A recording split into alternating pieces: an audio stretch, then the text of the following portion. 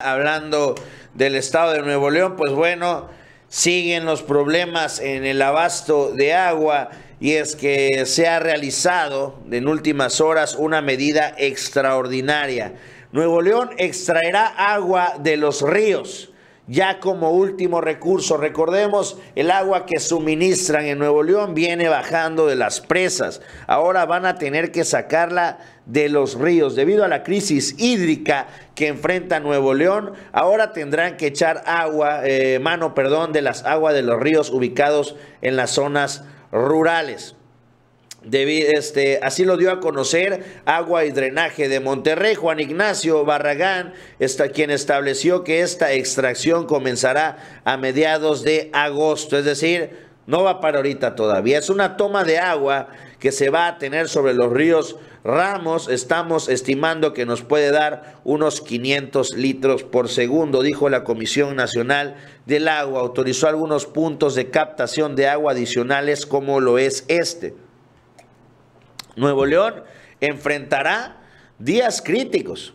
Cuando la ría, cuando la, cuando la presa Cerro Prieto deje de abastecer del vital líquido, su vida útil está prevista hasta el próximo viernes. No es una solución inmediata, pero nos va a permitir palear el próximo mes. Imagínense lo que está diciendo aquí la Comisión Nacional del Agua, también ahí agua y saneamiento, que Nuevo León tiene agua, tiene previsto tener agua, pero no solo eso, sino la presa completa tiene un margen de vida de dos días más. No, ¿cuándo? Un día más, el próximo viernes. Mañana mismo Nuevo León se va a quedar de nueva cuenta sin agua. A pesar del bombardeo a las nubes, a pesar de incluso de que algunas empresas han ido cediendo estas tomas clandestinas, ahí el mismo Samuel García este, va publicando en sus redes sociales este, el cómo ha encontrado por ahí algunas este, tomas clandestinas, algunas albercas, por ahí tenía en su Twitter. Pues, ¿qué es lo que pasa? La realidad es que el día de mañana, de nueva cuenta, Nuevo León se queda sin agua. Vamos a ver qué dijo Samuel García. Dice que no quede duda que en Nuevo León vamos a sacar agua hasta debajo de las piedras, pero eso no basta para salir de esta crisis. Necesitamos entrarle todos, necesitamos entrarle bien. Vamos a ver lo que dice Samuelito. Quiero insistir y asegurarles que vamos a salir de esta crisis que tenemos dinero, que tenemos un plan, que tenemos el apoyo del gobierno federal y te pido, Adán, al presidente, le des las gracias por pensar en el agua de Nuevo León. Pero más importante, depende también de la sociedad. Tenemos que todos juntos reflexionar y llevarnos una lección.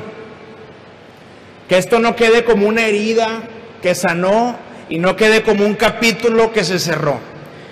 Esta es una reflexión de cómo va Nuevo León a cuidar el agua de aquí a 2050 y ser ejemplo para la mitad de México que hoy está en sequía sufriendo igual que nosotros. Nuevo León siempre pone el ejemplo en hacer las cosas bien hechas y ese es el llamado el día de hoy.